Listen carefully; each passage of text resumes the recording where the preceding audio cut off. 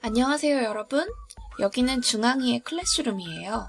중앙이가 담임선생님께서 내주신 플립그리드 과제를 해결하는 모습을 보면서 여러분들도 어떻게 플립그리드 과제를 해결할 수 있는지 확인해 보도록 해요. classroom에 들어오니 담임선생님께서 플립그리드 과제를 이렇게 제출해 놓으셨어요. 자기소개를 간단히 하래요. 그래서 플립그리드 링크를 밑에다 걸어주셨네요. 자, 먼저 이걸 클릭하시면 됩니다. 그러면 이렇게 뜰 거예요. 그러면 여기에서 여러분들은 로그인 with Google 누르시면 되는데요. 어, 여기에 계속 나는 이 계정 정보를 저장해 놓고 싶다 하시면 Remember Me를 체크하시면 됩니다. 알겠죠? 선생님은 안 할 거니까 체크 해제할게요. 자, 이걸 누르면 이렇게 떠요. 이미 여러분 로그인 중이기 때문에 이렇게 뜰 거예요. 그럼 바로 클릭. 네, 그러면 선생님이 제시해준 그 플립그리드 링크 안에 선생님이 올려준 것들이 있을 겁니다. 어, 이게 바로 주제입니다. 간단히 인사해볼까요? 라고 돼 있네요. 그래서 플립그리드 클래스에 처음 온 것을 환영합니다. 아래에 있는 초록색 버튼, 이거예요. 네, 요거, 요거를 누르고 플립그리드 카메라가 열리면 짧게 영상을 찍어서 제출해주세요 라고 했어요. 뭘 해야 되냐면 인사하고 나에 대한 재밌는 사실 한 가지 이야기하기입니다. 여기 선생님이 팁도 써주셨네요. 한번 연습해보는 거니까 간단히 인사하고 재밌게 자기소개 해봐요. 여러분들이 직접 이렇게 한번 해보시면 돼요. 자, 그러면 한번 눌러볼게요. 누르면 네, 이렇게 뜰 거예요. 음, 이렇게 뜨는데 허용을 누르면 이렇게 뜰 거예요. 카메라가 이렇게 뜨는데요. 여기에서 여러분들이 소개할 수 있는 영상을 제작할 수 있습니다. 네, 선생님은 지금 이렇게 얼굴을 안 보이게 했는데요. 여러분들은 얼굴 보이는지 잘 확인하시고 시작하시면 되는데요. 여기에서 보시면 이렇게 배경의 색을 어, 바꿔줄 수도 있고요. 네, 그런데 웬만하면 잘 보이는 걸로 해주시는 게 좋겠죠? 네. 그리고 여기서 보시면 내가 원하는 글씨를 내 영상에 넣을 수도 있습니다. 이렇게 글씨를 여러 자유자재로 넣어서 크기도 조절할 수 있고요. 이렇게 조절해서 내, 배, 내 영상 안에 이렇게 배치를 할 수도 있습니다. 그 다음 스티커를 넣을 수도 있어요. 스티커는 나를 표현할 수 있는 스티커를 집어넣고 여기다가 역시 원하는 곳에다가 배치를 하시면 됩니다. 그 다음 또 그림도 그릴 수 있죠.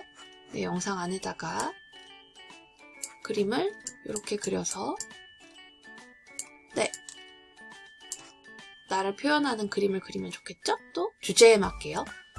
그 다음 이런 보드를 하면요.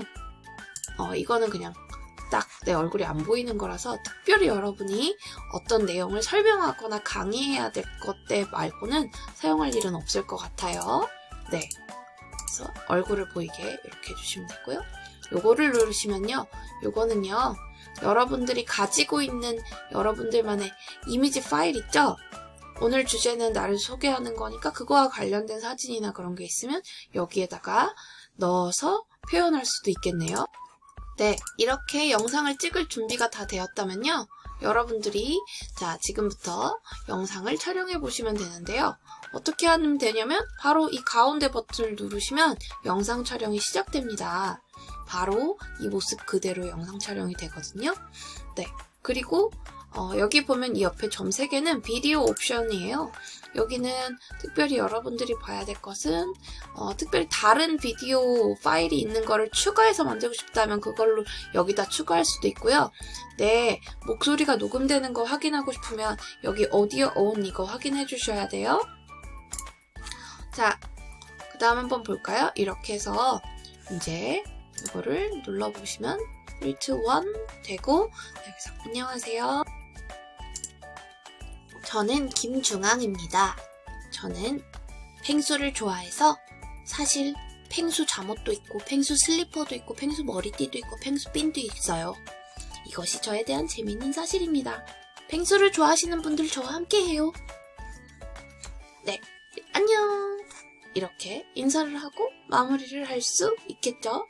네, 이렇게 다 됐으면 정지 눌러주시고 마음에 안 들면 여기 redo 누르시면 다 지워지는 거고요. 이 스티커도 다 지우고 싶으면 여기에서 클리어 누르시면 스티커도 한 번에 싹 다 지워집니다. 확인하세요. 그리고 이쪽에 보면 여기 보시면 show topic이라고 해서 어, 처음에 선생님 주제가 뭐였는지 정확히 생각이 안 나면 이쪽에서 다시 한번 볼 수 있어요. 오늘 선생님 미션이 이거였구나 확인을 해주실 수 있고요. 그 다음에 여기 보면 어, sticky note 여기 메모지 잼보드에서 했던 것처럼 이 간단한 나에 대한 설명을 메모지로 만들어서 여기다 작성해서 넣을 수도 있습니다. 네 이렇게 됐고요. 이렇게 다 하셨으면 네 그러면 next 완료됐다 하면은 이렇게 안녕하세요. 이렇게 다 나오죠. 저는 네, 그럼 이렇게 다 확인을 할 수 있고요. 내가 만일에 더 넣고 싶으면 여기 add more 더 누르시면 어, 추가로 더 할 수도 있습니다. 자, 그럼 난 마음에 든다 하면 next. 그렇게 하면 완료됐고요. 다음 마지막으로는 여기 나와요.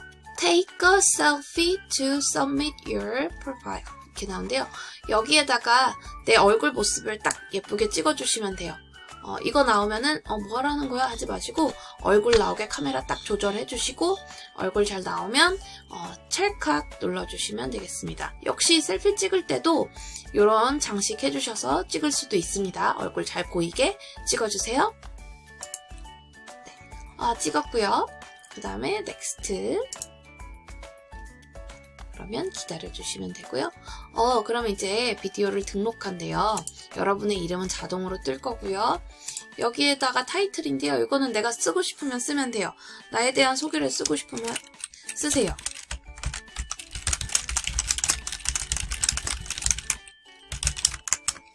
네, 이렇게 해주시고요. 여기는 뭐 내가 추가할 링크가 있으면 링크를 넣는 건데 이것도 옵션이기 때문에 안 하셔도 됩니다. 자, 그럼 완료! 마지막 버튼 누르시면 네, congratulation 다 됐고요. 음, 여기에 이제 여러분의 비디오가 어, 된 링크가 돼 있고요. 원하시면 여러분이 찍은 그 비디오 파일을 여러분이 다운로드 받으실 수도 있어요. 여러분이 아까 찍은 셀피도 마찬가지고요. complete 버튼을 눌러주시면 짠! 여러분이 만든 자기소개 영상이 이렇게 뜹니다. 네, 그럼 바로 한번 확인해 볼 수도 있겠죠. 이렇게 보시면 내가 만든 영상이 이렇게 떴죠. 네, 아주 훌륭하게 잘 떴습니다. 이렇게 보시면서 어, 여기 버튼을 누르면은 친구들 영상에 reply를 해줄 수 있어요. 답장을, 영상 답장을 보내줄 수도 있어요. 어, 너무 재밌게 봤어요. 뭐 이런 식으로. 똑같이 영상을 만들어서 답장을 써주는 거예요. 이런 기능이 있으니까 확인을 해주시고요. 네. 재밌죠? 그리고 선생님이 만일에 코멘트를 남겨주면 선생님이 피드백을 남겨주면 여기에 선생님 피드백이 떠요. 여기에 선생님이 중앙의 다른 영상에 잘했어요 라고 코멘트를 남겨줬어요. 네, 여러분 이렇게 하면 끝입니다. 그래서 친구들이 여기 들어와서 영상을 남기면 여러분들이 여기에서 모든 거를 다 볼 수 있어요. 친구들이 올린 영상들을 쭉쭉쭉쭉쭉쭉 다 보면서 친구들 영상 보고 내가 뭐 답장도 남기고 이렇게 말을 주고받을 수도 있거든요. 네, 여러분들만의 재미있는 영상을 만들고 그 영상을 이렇게 제출하고 친구들과 함께 영상을 보면서 대화하고 소통할 수 있는 이런 사이트 플립 그리드입니다. 네, 재밌죠? 그래서 친구들 영상이 여기에 쭉 다 올라오면요. 여러분들이 여기에서 다 보는 재미도 엄청나게 있을 거예요. 그래서 이 버튼을 누르시면 올라와 있는 여러 영상을 랜덤으로 이렇게 다 볼 수도 있고요. 그 다음 이렇게 슬라이드 쇼를 누르면요. 차례대로 쭉쭉쭉쭉 친구들의 영상을 보면서 답장도 해줄 수 있습니다. 자, 재밌었나요? 여러분들 이제 할 수 있겠죠? 자, 그러면 여러분들의 클래스룸으로 가셔서 여러분들의 자기소개를 간단하게 해서 한번 연습해 보시길 바라겠습니다.